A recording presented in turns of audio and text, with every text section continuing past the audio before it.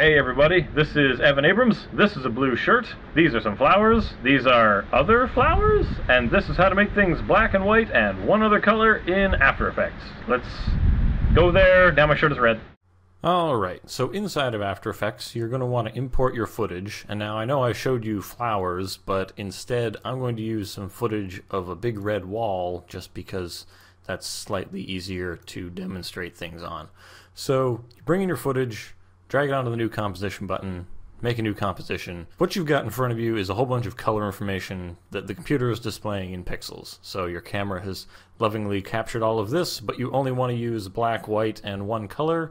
That's kind of rude of you, but that's fine. So the first thing I'm going to do is going to be copy this layer. So we have two of them, so Control D or Command D to duplicate. Now we're going to use one of them for the black and white information, and we're going to use one of them for the color information. I spell color this way because I'm from Canada. On the black and white one, all we're going to do is we're going to apply a tint effect to it, which strips out all the color information, and a curves to it as well. You could use the uh, black and white effect as well if you're familiar with using that, but uh, for our purposes, this is too much to explain for this tutorial, so I'm just going to go with the first two. So use the tint and curves to kind of set the uh, light and dark balance that you want to see here. Um, I don't really care too much, so that's what I'm going to do. And then I'm going to turn on the eyeball of the color layer. What we're doing here is we're going to use some of the color correction tools to really only bring out the red of that wall. So we're going to use color, I'm going to type that in, and there's a lot of color options to choose from here, but the one we want is leave color. And you can probably surmise by the name that this will leave one of the colors behind. And I suppose you know, you've probably deduced that this is basically the only effect you need if everything is shot perfectly. Unfortunately, as is the case with most things, this is not. So we're going to select the largest batch of color that we want to remove, and that is the red. And usually you want to take, if you have a range of colors, you want to take the mid-tone in between them. So I want to use this red and this red, but as you can see, they're kind of far apart. So let's just zoom in here, and let's select a pixel that's that's in the middle. So we select both of them. Hooray, hooray. Nothing's happened yet because we still have to decolor it. A hundred percent. All gone. So there you go. Now, as you can see, it's not quite working out. So we've got some green that's showing up. We've got some purple in here as well. That's because those are, on the RGB scale, close to the red we selected within 15%. So that basically means if we click on the value up here, you can see that its RGB value is, you know, whatever, whatever, whatever, and the tolerance is saying 15% away from each of these values are still cool to leave on. I don't totally agree with that, but that's that's fine.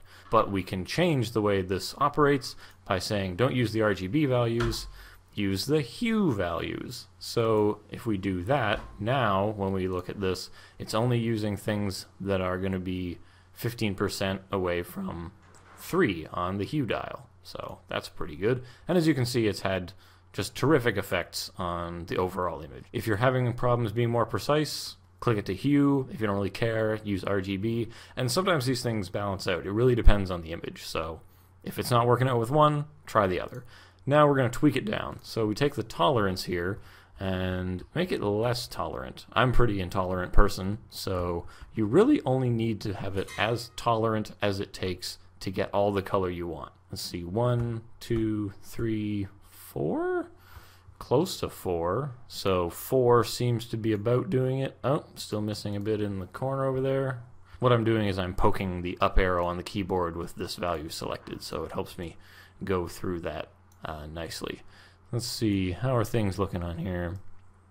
Mm, we have some spilling into this, so let's take the tolerance down a bit and put up the edge softness a little. Maybe that'll help smooth things out for us. Really, it's a lot of fine tweaks, and as you can see, it's kind of looking alright as it is. So, the other thing you're going to need to do is scrub through the video and sometimes your lighting conditions change, which, as you can see here, some of the red of the wall is being bounced onto the white of this column, and it is causing it to unfortunately have some red on it. There you go. Now you've got a red wall isolated, and then you can change your uh, black and white values on the black and white layer. Now, someone's probably going to ask me, and I've already anticipated this, that how did you change your shirt from blue to red? Well, I went ahead and I took out a hue and saturation and plonked that right on here. Now, we've got things like uh, you can change the saturation of that wall to make it, you know, a brighter red. This will only affect the colors that you've left, so that's pretty great. You can also change the lightness up and down, so this is how you can uh, hue shift things to be totally different colors. But we're not quite done yet. This was simple because it was a red wall, and quite frankly, there were not a lot of other similar colors in the thing. So we have red. Purple is close, but on the color wheel is pretty easy to, to cut those apart. Green and red are natural opposites. This has almost no color value, so this was a simple one. If we look at something like the yellow flower example, the bottom layer is still just the tint and curves, so forget about that. The top layer, however, we have a bit more trouble in there um, just because we have green. Now, I have a mask on there because in some instances you're going to want to save yourself the work by masking out only the sections you need to discolor. And then you just draw a mask around that using the rectangular pen tool or whatever. And then when you do leave color, even you can see here the yellow and the green are too close together. So what I've done is I've used the change to color, which is in effect over here. So change to color, there it is, and I'm changing it from the green, so you just select the green, and I'm changing it to a 50% gray, meaning it's going to have no color value at all. And what that'll do is it'll just wash all of that out. And again, you have to tweak the tolerances to get it into the right spot and you want to make sure you're changing the hue, saturation, and lightness of all that stuff. Because if you just change the hue, it looks funny. So basically, you take the colors that are showing up that you don't want, and you're changing them down to gray. So that's one method to do it. Or you could use the color color key. You can pull out the color key here, and what we're going to do is we're going to select those greens. Select, select some greens. I'll select one. Select this green and then uh, basically we just make that green disappear. Put that above the leave color, and then uh, you can just carve it out as you need.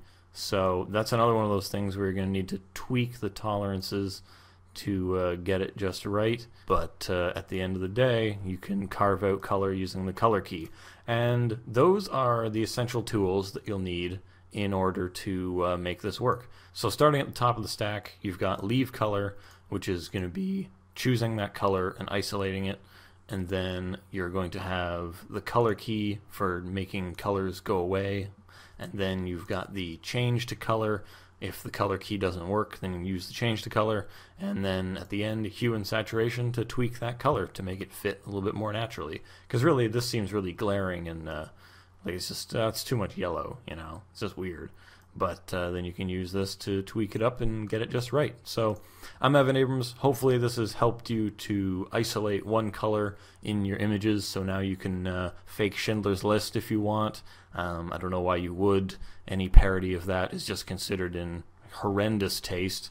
Uh, as well, you could do a Yellow Pages ad, so that could be pretty cool. So if you like this, comment, rate, subscribe. Uh, new tutorial comes up every week. Uh, thanks for checking out the channel, and I hope you enjoyed this. I'm Evan Abrams, teaching you how to use After Effects right here on YouTube. Subscribe to the channel, and I will see you next week.